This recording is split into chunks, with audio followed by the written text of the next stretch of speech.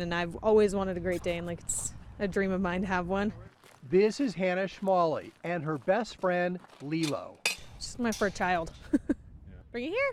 When she adopted Lilo, she knew her dog was rescued from a bad situation, sick and underweight. But she had no idea just how bad until we showed her the video. Down lower. Here's where Lilo came from.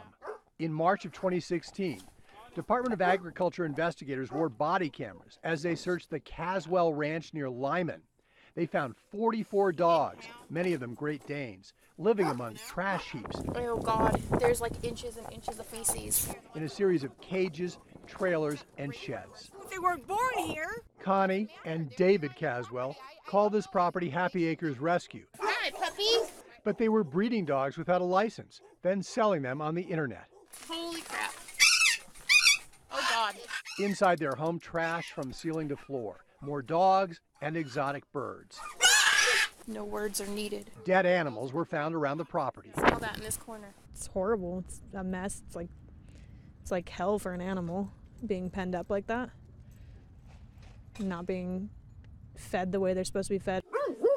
Workers from the Colorado Humane Society donned protective suits and rescued the animals. They were in pretty poor shape.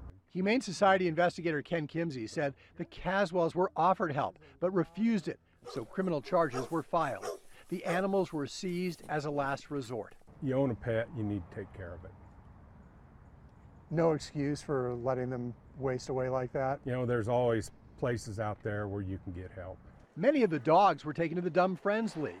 Five were so sick, though, they died or had to be euthanized. Lilo, come here. But 29 were adopted out here, to people like? Hannah, who's Can working to give me? Lilo the best Lilo. life possible. You know, give her a better home, better life. She's spoiled. Nope, sit. She gets everything that she could dream of, pretty much. If I could give her the world, I would. Good girl, Jessica girl. Yeah. Hi, Jagged. What you doing, big boy?